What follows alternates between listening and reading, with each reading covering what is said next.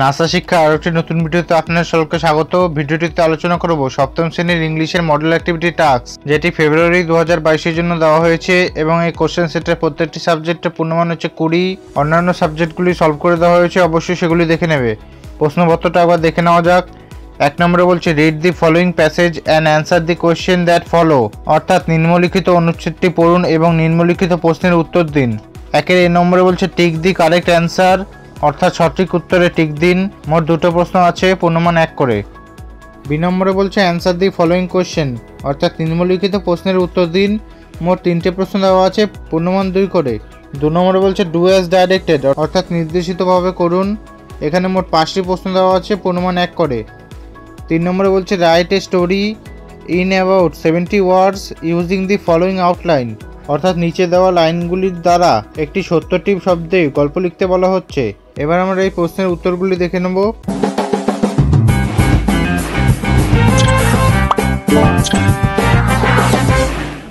প্রথমে আমরা এক নম্বরে দেওয়া অনুচ্ছেদটি পড়ার চেষ্টা করব। অনুচ্ছেদটিতে লেখা আছে the king of kings emperor Akbar who ruled over India was a great lover of arts science literature and music অর্থাৎ রাজাদের রাজা সম্রাট আকবর, যিনি ভারত শাসন করেছিলেন তিনি শিল্প, বিজ্ঞান, সাহিত্য এবং সঙ্গীতের একজন মহান প্রেমিক ছিলেন। One day on a fine morning, অর্থাৎ একদিন এক চমৎকার সকালে, he was walking in his vast garden, অর্থাৎ তিনি তার বিশাল বাগানটিতে হাঁটছিলেন। His garden was lined with trees that produce the tastiest and delicious fruits in the whole kingdom, অর্থাৎ তার বাগানটি গাছের সাথে সারিবদ্ধ ছিল। যা সমগ্র রাজ্যের সবচেয়ে সুস্বাদু এবং রসালো ফল দেয়। There were flower of all shape and size in his garden অর্থাৎ তার বাগানে সব আকার আকৃতির ফুল ছিল। He had his most trusted and favourite minister Birbal with him অর্থাৎ তার সাথে তার সবচেয়ে বিশ্বস্ত ও প্রিয় মন্ত্রী বীরবল ছিলেন। But the great empire Akbar did not have peace of mind কিন্তু মহান সম্রাট আকবরের মনে শান্তি ছিল না।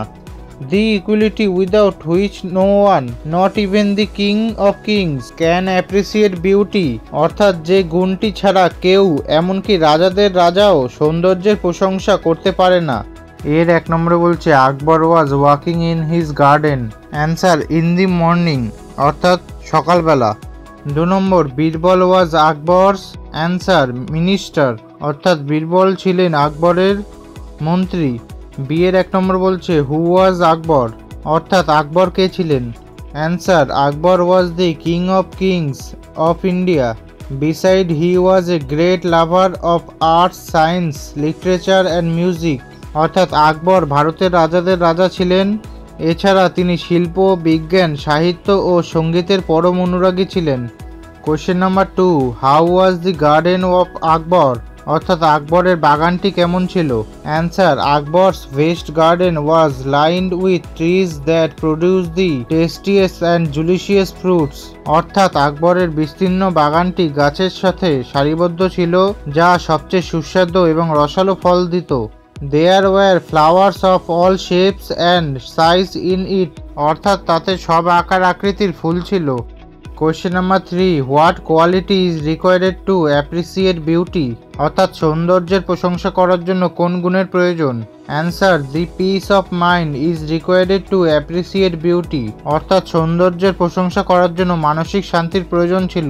Question number two one last evening my mother and I dash ব্র্যাকেটে watch the news on the TV fill in the blanks with past continuous tense অ্যান্সারটি হবে last evening my mother and I were watching the news on the TV অর্থাৎ গত সন্ধ্যায় আমি এবং আমার মা টিভিতে খবর দেখছিলাম।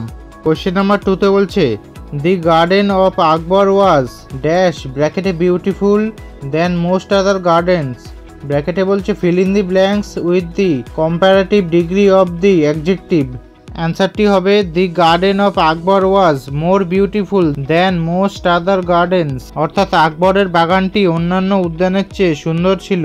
Question number three he to can umbrella but I forgot to take dash ব্র্যাকেটে বলছে fill in the blanks with positive pronoun answer he took an umbrella but I forgot to take mine অর্থাৎ সে একটা ছাতা নিয়েছিল, কিন্তু আমি আমারটা নিতে ভুলে গেছি। Question number four Mount Everest is the dash ব্র্যাকেটে high mountain in the world ব্র্যাকেটে বলছে fill in the blanks with the superlative degree of the adjective অ্যান্সারটি হলো Mount Everest is the highest mountain in the world অর্থাৎ Mount Everest পৃথিবীর সর্বোচ্চ পর্বত। Question number five I am not so strong as you ব্যাকেটে বলছে rewrite the sentence using the antonym of the underline words answer I am not so weak as you অর্থাৎ আমি আপনার মতো দুর্বল নই।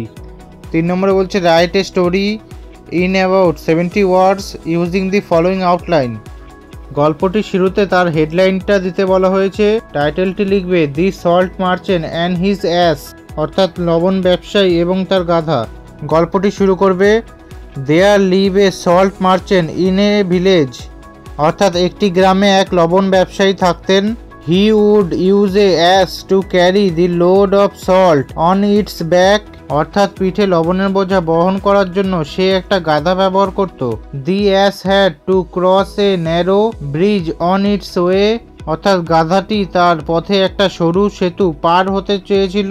One day while crossing the bridge the ass lost his balance and fall into the stream অর্থাৎ একদিন bridge পার হওয়ার সময় গাধা ভারসাম্য হারিয়ে স্রোতে পড়ে যায়। The salt on his bag dissolve and its become light অর্থাৎ তার পিঠের লবণগুলি পড়ে গিয়ে হালকা হয়ে যায়। From that day he always fall into the stream so that his load become light অর্থাৎ সেই দিন থেকে গাধাটি সর্বদা স্রোতে পড়ে যেতেন, যাতে তার বোঝা হালকা হয়ে যেত। His master understood his trick অর্থাৎ তার প্রভু তার কৌশলটি বুঝতে পেরে গেছিল। Next time he put a load of cotton instead of salt অর্থাৎ সে লবণের বদলে তুলোর বোঝা রাখল। The ass purposefully fall into the stream কিন্তু আগের মতনই গাধাটি স্রোতে পড়ে গেল। But alas the load become heavy কিন্তু হায়, ভার আরও ভারী হয়ে গেল। Thereafter the ass never fall into the stream intentionally অর্থাৎ তারপর থেকে গাধাটি ইচ্ছাকৃতভাবে স্রোতে পড়ে যায়নি।